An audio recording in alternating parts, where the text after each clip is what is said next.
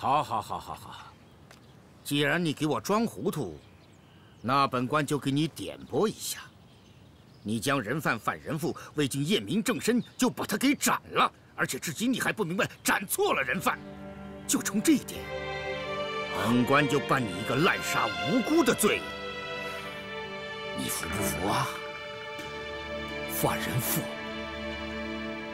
我斩的就是范仁富，何来滥杀无辜？别在这儿给我狡辩了，把他给我拿下，我看谁敢！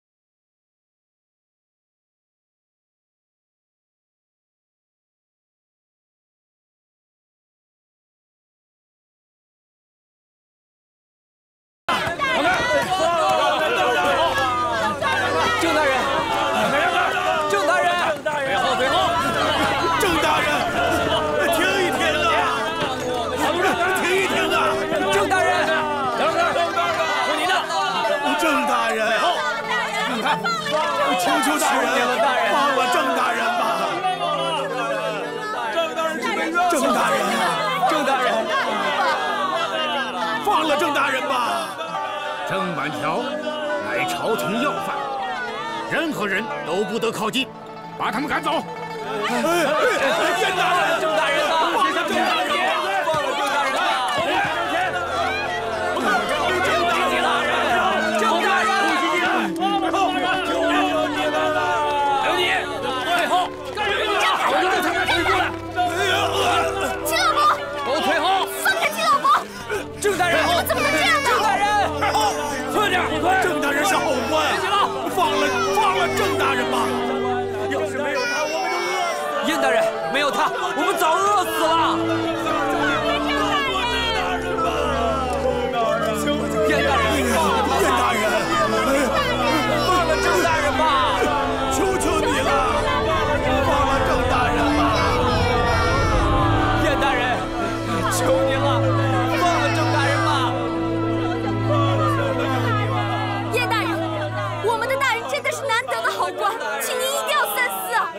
求求您了，郑大人是好官子，求您了！把他们赶走，快走！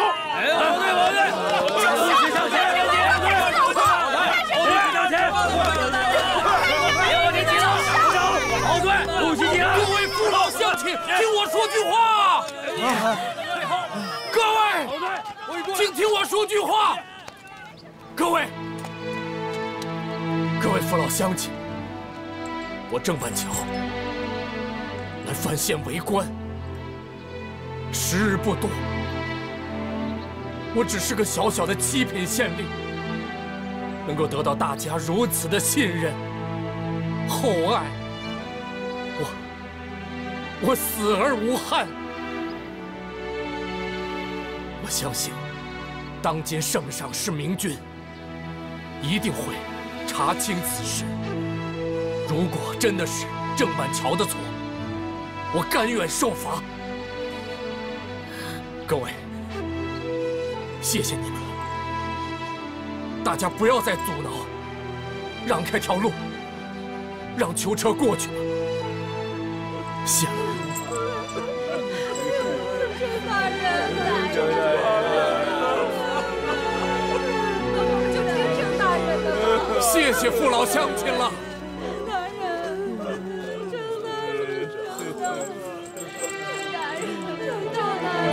干什么？还不快走！让开让开！来，让开，让开，让开！快让开，让开，让开。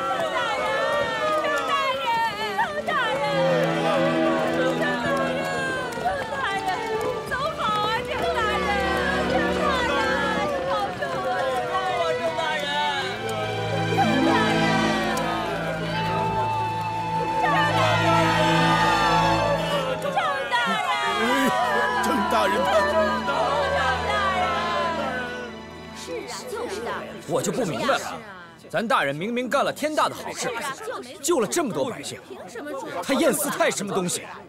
凭什么带走郑大人？就是的，咱们大人开仓放粮有罪，那咱们老百姓吃粮仓里的粮食都有罪。对，干脆呀，把咱们一起抓走算了。对，要抓就把咱们一起抓走得了。你们冷静一点。今天把大家聚在这里，是要大家想办法，怎么把大人救出来。是啊，我们大家急也没有用。若真想救大人，我们就应该在这儿集思广益，尽快想出一个最妥善的方法。哎，陈大夫，你不是向慎郡王求救了吗？怎么一点消息都没有啊？慎郡王与大人交情一向甚好，我想此时他应该也在京城为此事忙碌，可能办得没那么快。燕四太这次抓大人，那么胸有成竹，连刑部的公文没等到他就下手了，显然是蓄谋已久的。要我看啊，那狗官八成是心里有鬼。是啊，是啊，谁心里有鬼？咱们尚且不问燕四太是否心里有鬼，可是大人已经被他们抓走了，现在当务之急是要怎么把大人救出来。我记得大人曾经说过，民之所欲，天必从之。对，上天都不会违背我们老百姓的意愿，一定会来惩恶扬善。既然民心不可违，我认为咱们可以先去一趟巡抚衙门，咱们先去找燕四太，给他施加压力，让他看一看咱们的郑大人有多么的深得民心。我相信他看过以后也会掂量掂量，暂时不敢把大人怎么样。咱们这一招缓兵之计，一方面可以等等慎郡王的消息，另外一方面咱们可以去想更好的办法。对，我也去。我也去，我也去，我们都去，我也去，我也去。既然事已至此，也只能这样了。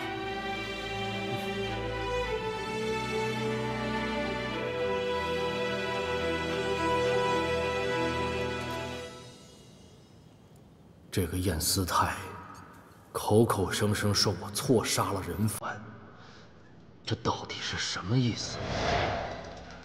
啊，郑大人，这是有人陷害于我呀！带下去。这是大人，欲加之罪，何患无辞啊！范仁富，铁证如山，你还不认罪？你是不是想吃点皮肉之苦？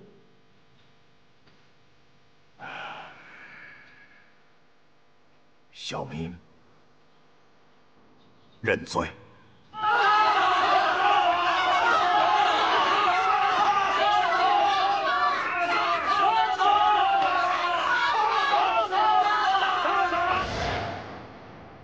莫非那个人不是范仁富？这天底下怎么会有长得如此一模一样的人呢？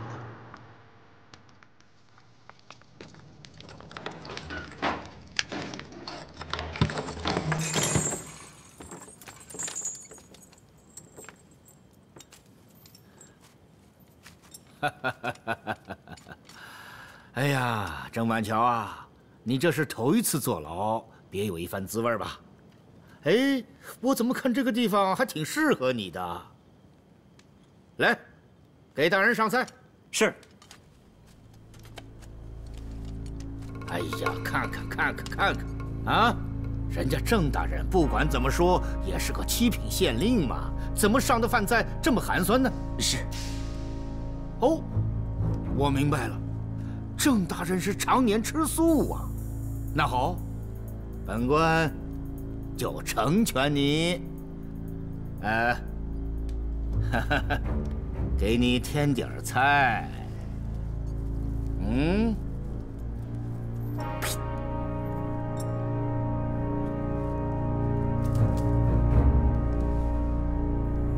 看见了没有？以后啊，就照我这个样，给大人上菜。是大人。嗯。我说郑板桥，吃啊，怎么不吃啊？不给本官赏脸是不是？当然吃了。燕大人给我上的菜，我敢不吃吗？呵呵呵。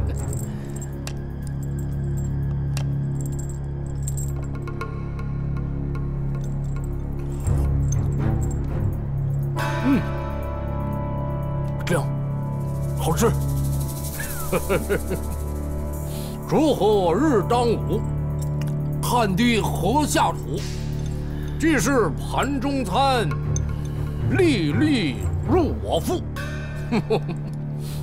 这东西啊，它是农民的汗水，它既然进了这个碗，就得进我肚子里，我都吃掉。哎呀，我说郑板桥啊，你都死到临头了。还在这儿自命不凡、巧舌如簧啊！好，好，好，你就在这儿等死吧！哼！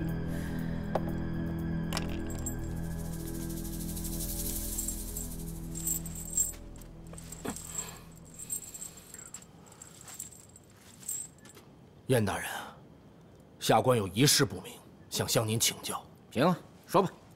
虽然我郑板桥平时糊里糊涂，但是我办案绝不敢糊里糊涂。这个范仁富，我杀他之前确实验明了正身。您怎么说是错杀了人犯呢？好，好，好，那本官就告诉你实情。你杀的那个人呢，是范仁富的孪生弟弟，叫范仁贵。啊？范仁富还有个孪生兄弟呀？可不是吗？他这个弟弟啊，生前痴呆，不辨生死。哎，我说郑板桥啊，你可是号称江南才子，你也生性痴呆不辨生死啊？没关系，本官呢已经替你把范仁富给杀了。有什么不明白的事儿，你呀到阴曹地府再好好问他去吧。大人，嗯，如果真有此事的话。郑板桥一人做事一人承担，杀错了人犯，我要偿命，甘受刑部处罚。不过，我还真得谢谢大人，惩处了范仁甫这么一个恶人，还给下官送了这么好的饭。哎，我说你郑板桥啊，你死到临头了，还给本官在这儿耍嘴皮子？好，好，好，你耍，你好好耍。我倒是想看看。你还能耍多久？哼！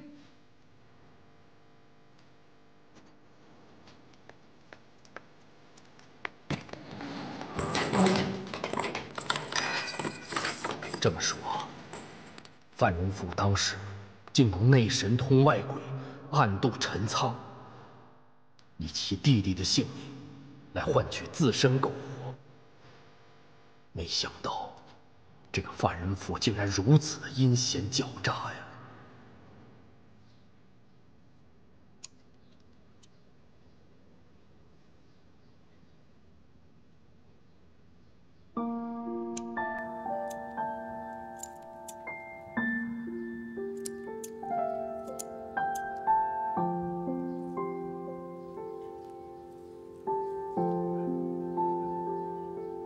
你爹我舔着脸去找燕师太，不就是为了咱们范氏的家业，为了咱们一家人衣食无忧吗？你这是执迷不悟啊！怎么跟爹说话呢？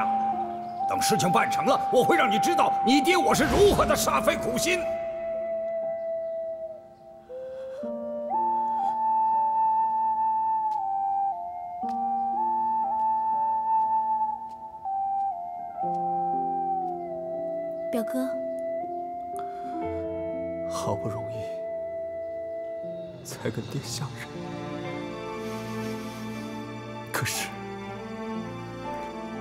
最后一次谈话，竟然是以争吵结束。早知道这样，当初说什么也应该劝住他。我连这点都做不到，真是愧为人子。表哥，我们现在的当务之急是把姨父送回范县，让他落叶归根。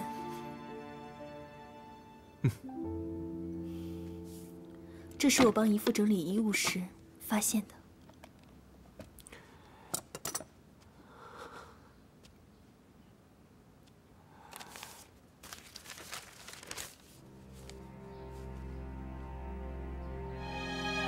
这是沙俄燧发枪的制造图，还有这封是姨父留给你的信，你看一下吧。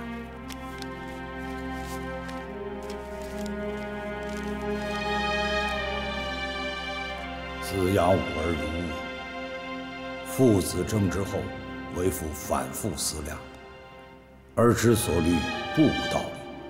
想那燕师太狡诈多端，屡屡出尔反尔，本次亦不会例外。然而后我范家若欲图振兴，却是寄望于这笔丰厚的。为父虽明知山有虎，偏向虎山行，只有放大一搏。为父如有差错，而要带上此封信函，投靠李郡王，那碎发枪制造图，便是你书城的利器，请妥善保存。而盒中其他诸函，乃是这些年来燕斯泰与为父往返之书信。而第一封，就是当年燕斯泰与父合谋夺取饶氏父子押镖物品的清单。所有珍贵物品，均属李郡王所有，却全被燕斯泰大司悉数侵吞。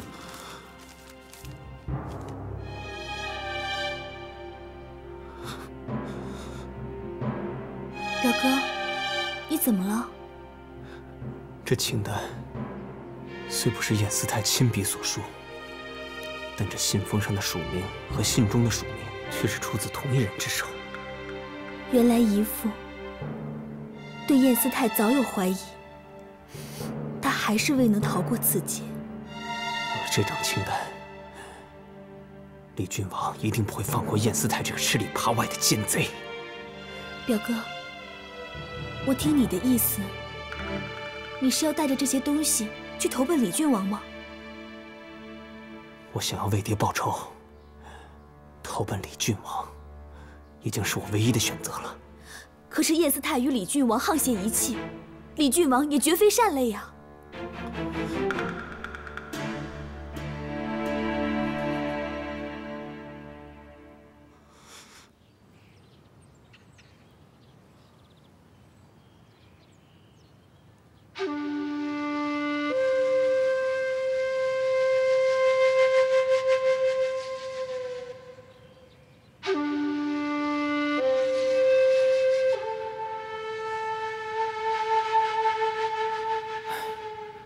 都到这儿了，到现在也没能让咱们进去，让咱们表明救大人的心迹，这不是要急死咱们吗？我们县衙的大门永远都是对百姓敞开的，这巡抚的大门却如此紧闭。可见巡抚大人的为官之道，这进去禀报这么久了，怎么还没有出来啊？来了，这么长时间了，怎么还不出来啊？大家冷静一下，都听我说，我们是来向巡抚大人请愿的，我们是要救郑大人出来，大家一定要冷静，千万不要闹事急死我了呀。大家不要着急，我就不相信他燕巡抚不出这个大门。他不见我们没关系，我们就跪在这里，一直跪到他出来为止。对，好，跪到他出来为止，跪到他出来为止。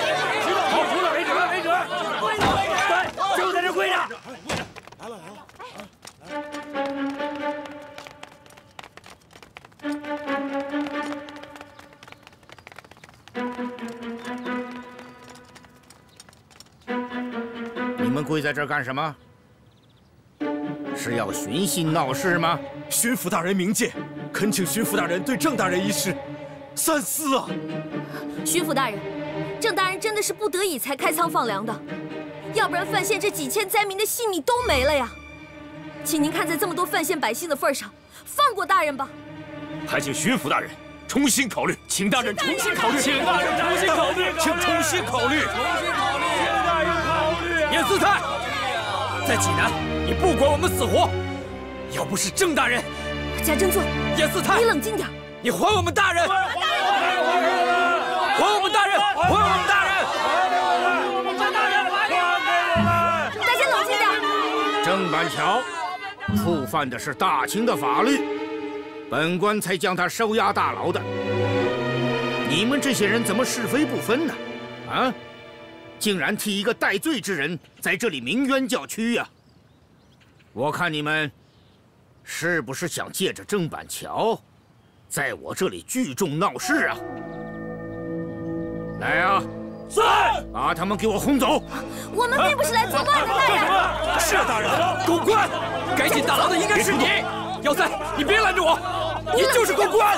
严思泰，你竟敢用这些肮脏的秽语来辱骂朝廷命官！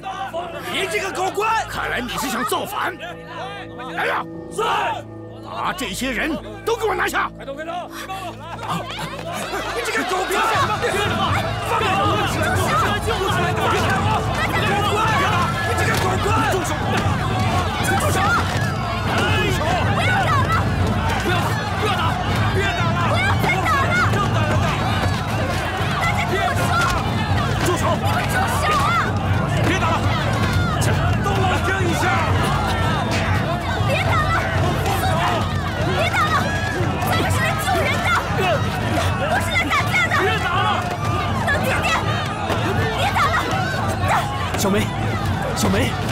救郑大人，就跟我走。走啊！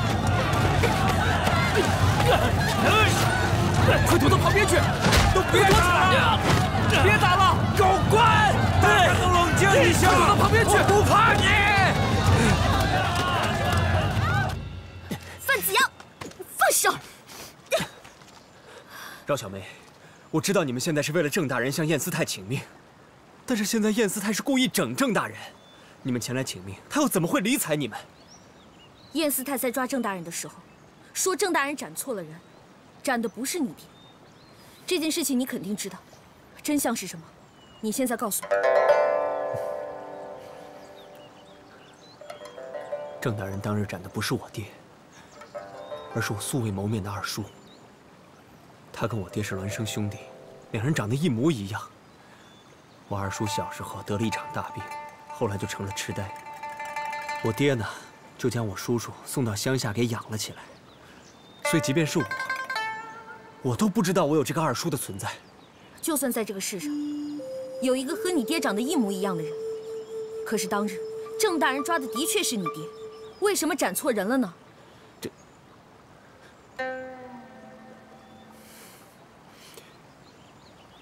我爹跟燕思泰来来往往多年，我爹出了纰漏，燕思泰怎么可能会置身度外？所以，他们利用了我叔叔，在行刑之前，将两人偷梁换柱调了包。这件事情最大的主谋就是燕思泰，但他把这所有的账全都记在了郑大人身上。之后，我爹化名为范义军回到了我身边，又带着我去济南投靠了燕思泰。后来他们之间发生了很多事，出现了很多纠葛，他就密谋让我爹购置火铳子，找借口把我爹处死。然后，他将郑大人以私开粮仓和杀错人犯的罪名收押。这就是整个事件的真相。小梅，你不要冲动，咱们得想一个万全之策，否则你是奈何不了燕思泰的。什么叫咱们？你是你，我是我，我和你范子阳现在已经不是一路人了。况且就郑大人，本来也与你无关。我知道我之前对你的伤害太大也太深了，我不需要你原谅我，但是我想让你知道的是，我真的后悔了。之前是我糊涂，是我错怪了郑大人。现在只要能弥补，我做什么都愿意。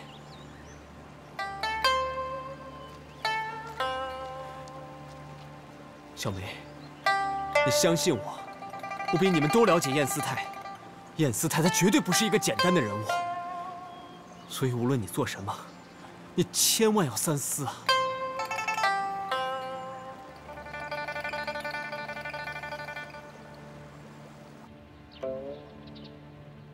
你说皇上微服私访，此刻人在济南。回禀王爷，宫里传过来的消息是这么说的。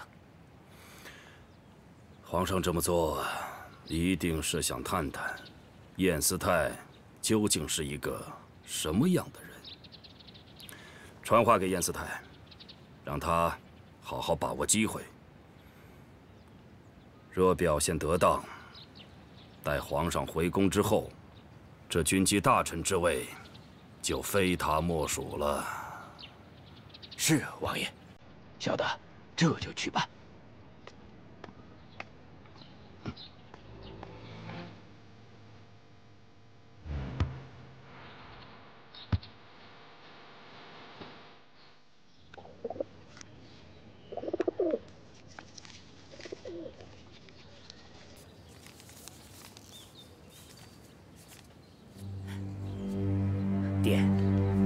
郡王送来的好消息啊！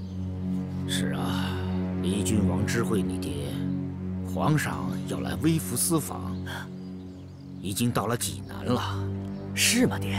那、那、那咱们得好好张罗张罗呀！这可是爹在皇上面前露脸的好机会呀！嗯，是啊，李郡王真是用心良苦，他是想让皇上。看看你爹勤政爱民的一面呐，这还不简单吗？爹，只要在茶馆酒肆安排一些我们的眼线，让他们借机宣传一下爹勤政爱民的德政，我就不信皇上还看不见我爹这个好官啊！嗯，也该让皇上看看山东，尤其是应该让他看看济南，在你爹的治理下，那是风清气正。一片繁荣啊！啊！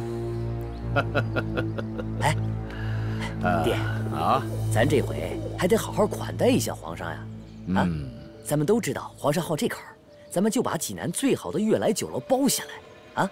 还有怡情院的那个啊，花魁霞飞，那可是堪称一绝呀，也给皇上送上。到时候皇上龙心大悦了，那你军机大臣的位置，不就十拿九稳了吗？对不对？我看行，哎，哈图啊，啊，你就去安排安排，但是要记住，一定要周密仔细，不得出半点差错。行了，爹，你放心吧。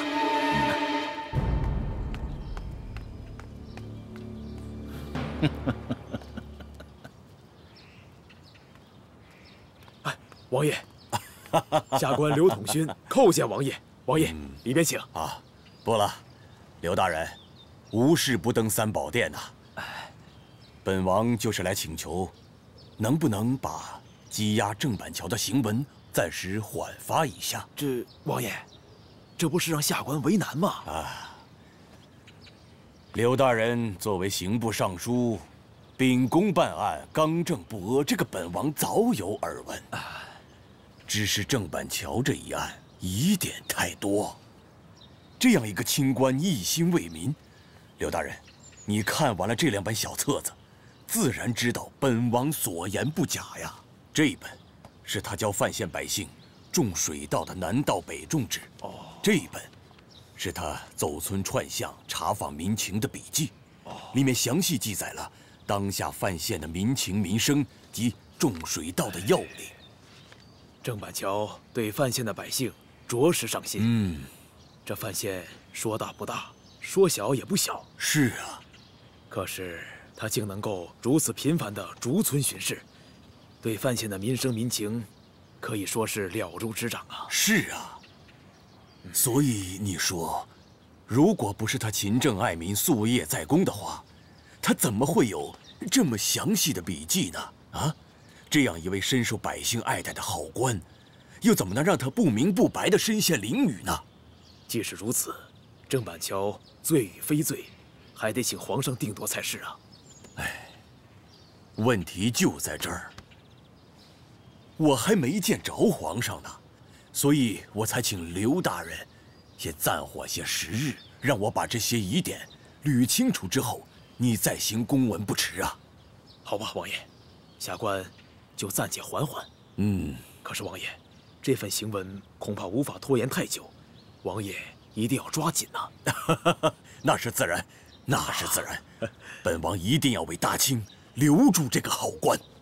王爷所言极是啊，那就拜托了啊。王爷请放心。要说勤政爱民呐，俺首推咱巡抚燕大人。就是，哪个大官能像咱巡抚大人那样，凡事都亲力亲为，爱民如子啊？哎，前两年闹天花，我亲眼看见燕思泰燕大人不怕染病，那可是挨家挨户来巡视呢。说啥呢？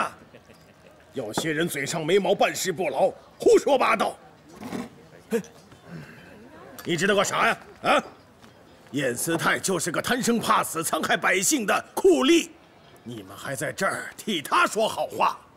去年你们济南那个贾振作等人染上了天花，狼心狗肺的燕斯泰竟将他们赶到了荒郊野外，不管他们的死活，要他们自生自灭呀！他竟把他自己说成是活菩萨。秦老伯，秦老伯，咱别跟他们一般见识。哎呀，不行，这事儿我得说明白。那个燕斯泰，把他们赶到荒郊野外不说，还把他们的房屋家当全都烧光了。哎，多亏了好心的郑大人，将他们收留了起来，治好了他们的天花病，又给了他们安身立命之所呀。哼，你是那郑板桥买通的吧？我是郑大人救出来的，不许你再侮辱郑大人！没事吧？怎么样？你这个老东西，你怎么打人呢？你敢侮辱郑大人，我就跟你拼命！秦老伯，别忘了咱来是干什么的，不能惹是生非啊！敢打老子，给我上！打！打死你！别打了！叫人胡说八道！别打！打死你！去你个老头！住手！别打了！听死的！都给我住手！打死你！打死你！让你打死！别打了！哎呦！哎！呀！哎呀！哎呀！哎呀！哎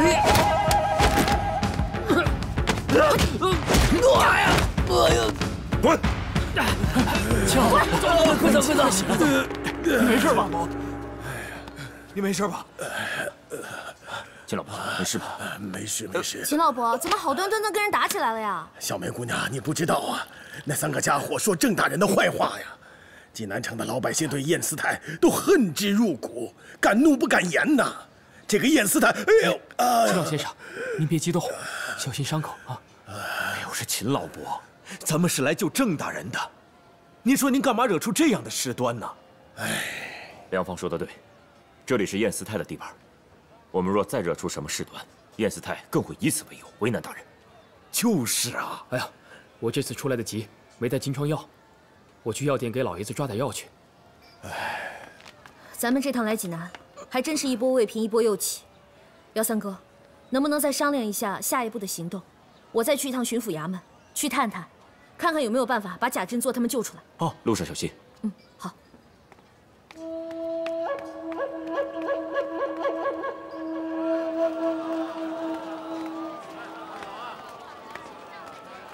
这位姑娘，请留步，我家公子有请。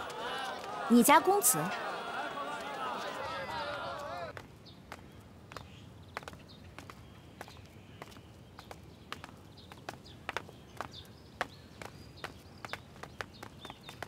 这边，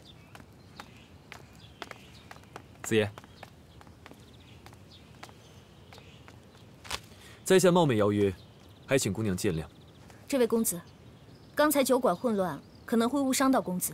如果公子你有什么损伤，不用担心，我饶小梅负责全部赔偿，只请公子别将此事闹到官衙里去。在下并无损伤，亦无意索赔。那公子，在下姓艾，排行第四，故名艾四。旁人敬我一声四爷，是个南北来往的生意人。在下对郑板桥的才情仰慕已久，但是无缘相见。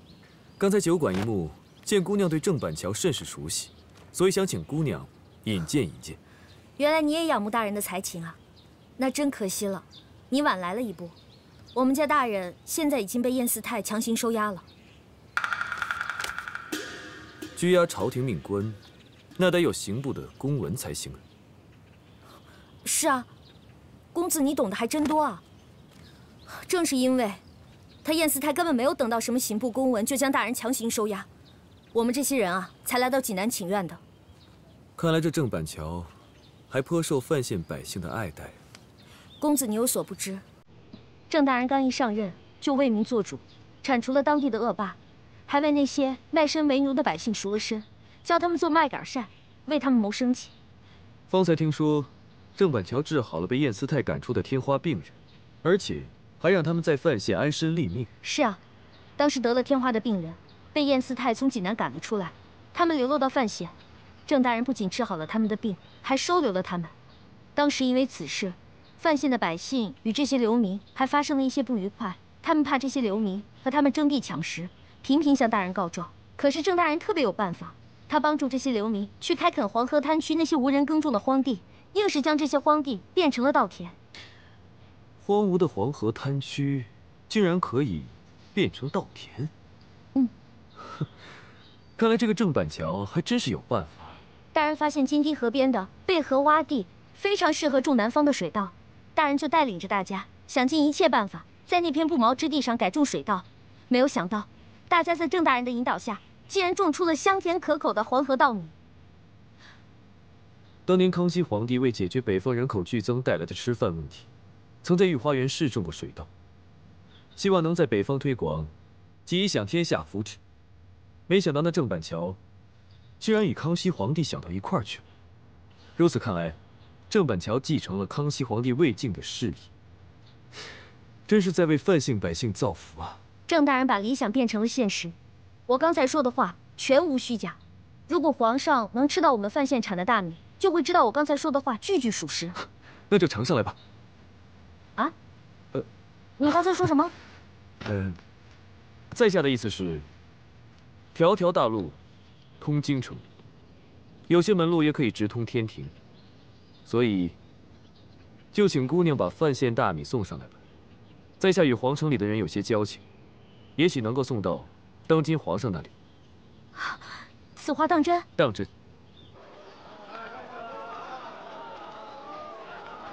山东巡抚燕思泰恭迎皇，叫我四爷吧。哦，哦，是是是，四爷四爷。哎呀，四爷，您大驾光临，这实在是山东的荣幸，济南的荣幸啊！下官略备薄酒，恭请四爷。能够移驾，前面带路吧。哎，好。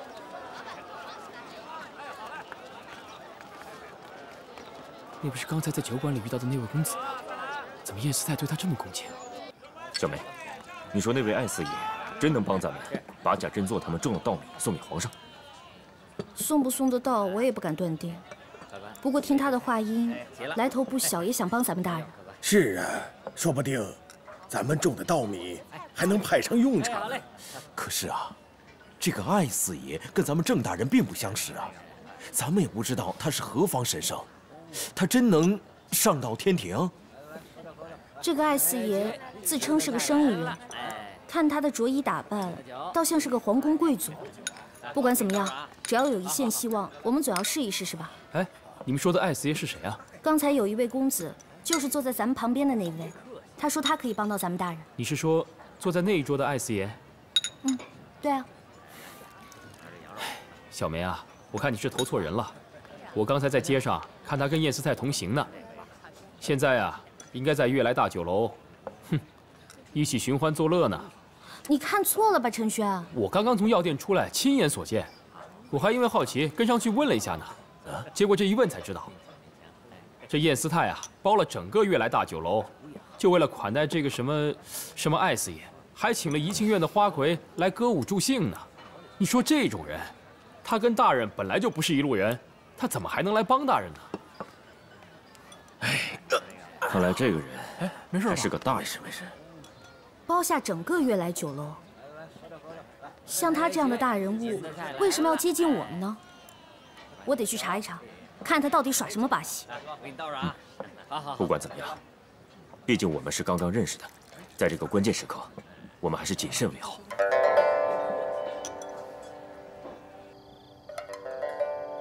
微臣明白皇上这一路舟车劳顿，特备下这杜康美酒，恭请皇上品尝。嗯，好酒。燕大人啊，哎，朕一进济南，四处可闻百姓对你燕巡抚的德政赞不绝口，可见你颇得民心呐。哎呀，勤政爱民乃为官之本，也是皇上一贯的教诲。哎，如有做得不妥之处，还望皇上垂训。可朕也听闻，燕大人不似刑部行文，便将郑板桥关进大牢，何有此事啊？回皇上的话，一是郑板桥藐视皇上，擅开粮仓；二是他昏庸不察。错斩了无辜之人呐！错斩无辜，